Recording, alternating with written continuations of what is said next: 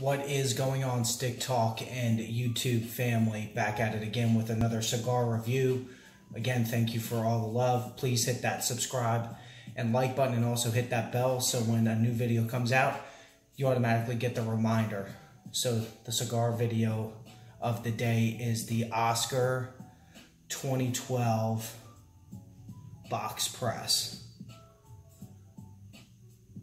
As you guys can see, this is a pattern for me. I'm a huge Oscar brand um, lover. Love all of their cigars. Uh, this series is absolutely amazing. They have a a yellow and orange and a red wrapper. So this is the red wrapper, but they all three are box press. So what I'm gonna do is, is I'm gonna go with the first V cut for this right here.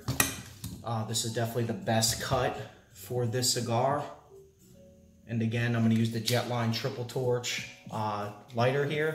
And again, we are going to we are going to toast this right here. Now, this cigar right here is one of definitely of the more robust and stronger cigars. However, um, it is very flavorful. And again, there is no complaints on any of their cigars that I smoke.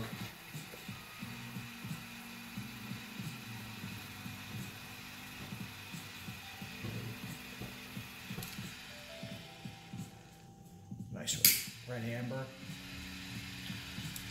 So again, guys, this right here, one of the better cigars, the 2012 by Oscar. Um, look them up. They do a great job with their cigars. Um, everything about their cigars, they're great. There's not a not a single cigar that is bad that comes out of this line. Um, so again, guys, this is also from FamousSmoke.com.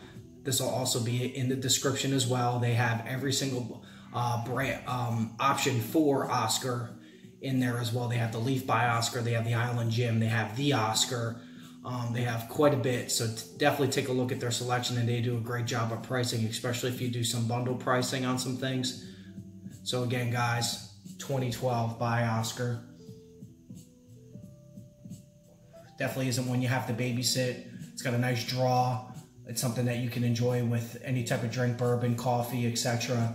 Um, listen to some nice jazz music too. Uh, but this is something you don't have to babysit. You can get every 30 to a minute to take a drag from it. Um, great flavor all the way till the wrapper and all the way to the end. So again, guys,